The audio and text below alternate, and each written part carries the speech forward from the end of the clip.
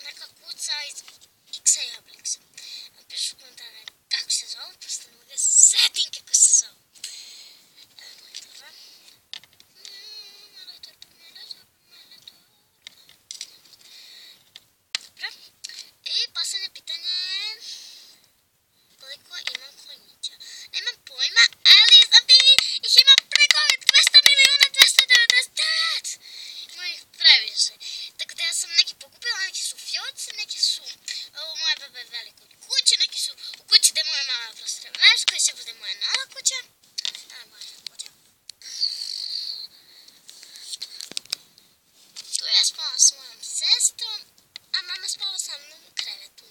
Ne znam zašto, ali znam, zato što nema krevet, ali nećemo, to, to nije tema.